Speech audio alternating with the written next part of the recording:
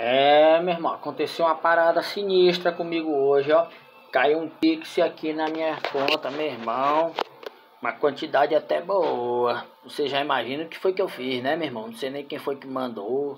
Sei que veio aí errado e tal. Aí a pessoa vai e manda uma mensagem que tá no meu celular, minha chave.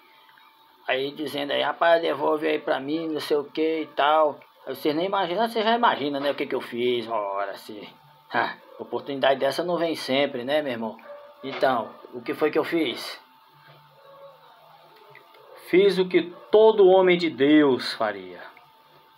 Claro e evidente que eu devolvi e ainda pedi desculpa, mesmo ele tendo errado.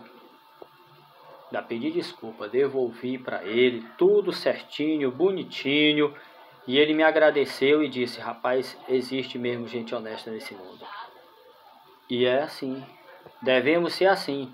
Não per podemos perder a salvação por besteira. Busque a Deus. Busque procurar o certo. Sirva a Deus. Procure. Quando não tem culto na minha igreja, eu vou em outra sempre para buscar. É melhor do que ficar em casa.